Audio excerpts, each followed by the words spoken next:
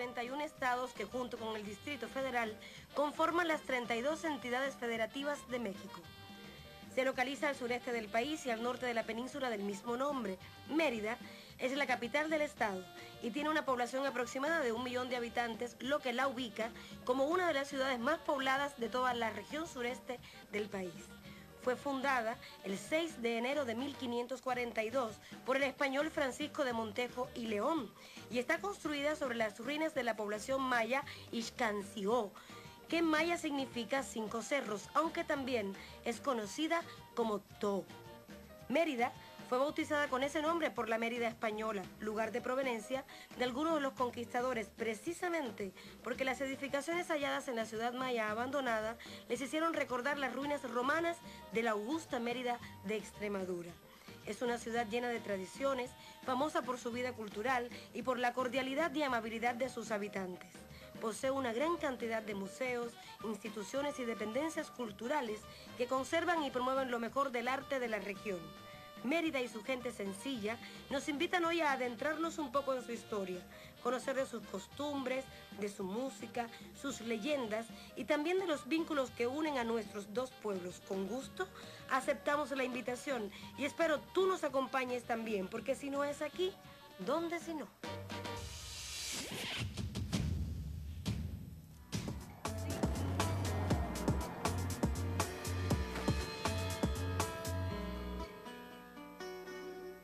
Y te invito a un recorrido por la ciudad. Me encuentro en el centro de Mérida, frente al Palacio de Gobiernos. Sígueme, estamos llenos de detalles. Vamos a conocer un poco más de este lugar.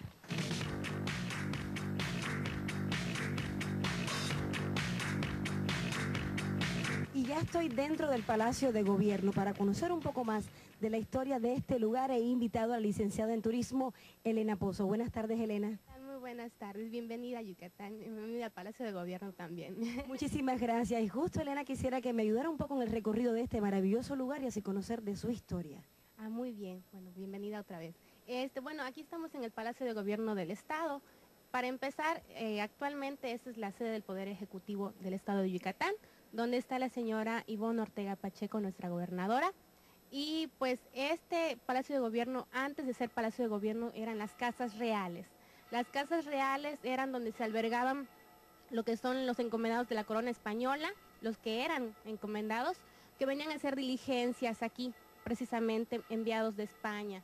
Entonces aquí se les albergaban, era una gran casa con patios y todo, cuartos, y aquí se les hospedaba. Posteriormente, en 1892, pasa a ser la sede del Poder Ejecutivo, ¿sí?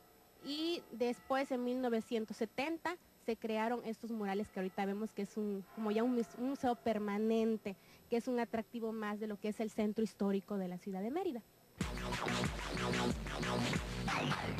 Y Elena nos ha traído hasta el Salón de la Historia. ¿Qué tal? Bueno, el Salón de la Historia, aquí es donde tenemos la mayor cantidad de murales eh, que hablan más acerca de lo que fue la esclavitud maya, lo que fue la conquista y lo que también fue la guerra de casta, que fue como la liberación fue una, lucha por eh, esa libertad, por ya no ser esclavos. Entonces lo vemos aquí representados en todos estos murales.